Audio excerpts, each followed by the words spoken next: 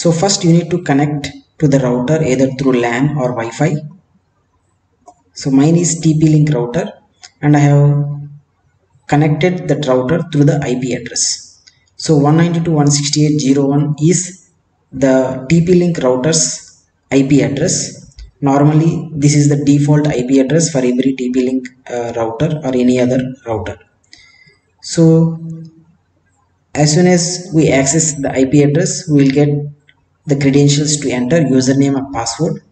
So normally the default username and password will be admin and password is also admin. Or password will be password itself. So for this I have admin as a username and admin as a password. Let's log in this and change these credentials. We will change the username and password so we have logged in and we have so many settings. Just go to system tools menu. And under the system tools menu we have a password section. Just click on password section. So as soon as we click password section you will get an option to enter old username old password and new username and new password and confirm the new password and we can save it so let's enter. Old username is admin. It is a admin. So new username for demo purpose i will keep just username and password i will just keep as password.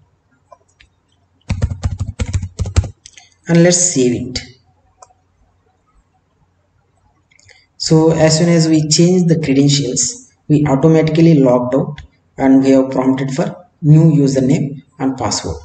Now if we enter the old username and password it will deny. So we need to enter the new username.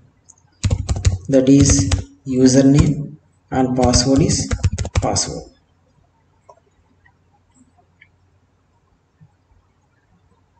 so now we have successfully logged in.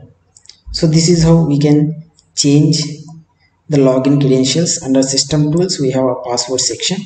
Here we can change the password. I hope you like this video and understood how to change the password.